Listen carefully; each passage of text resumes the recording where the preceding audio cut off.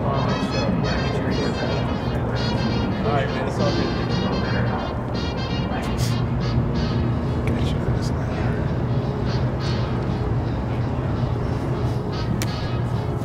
Got tickets to tomorrow's comedy night. Tickets tomorrow. Yep, me. Tickets? Tickets? Anybody? Okay, no tickets. Hey, what's up, buddy? What's up, bro? I got your question, man. Looking for this guy right here. Um, you happen to see him around here performing anything? This dude, yeah, I wish I forgot. Yeah, why's that? This dude's like a wet blanket, bro. He's got like the personality of a pet rock. You ain't lying. Not my branded tea is all I'm saying, you know? Yeah. Now this right here though, this is some good tea right here. This is probably that high value tea if you want one of these. You know what? I appreciate the information, bro. Hey, what, what about one of these tickets, man? You know what? You are pretty funny. Damn, man, no I got tickets to the show tomorrow night, 8 o'clock. Get you in four people.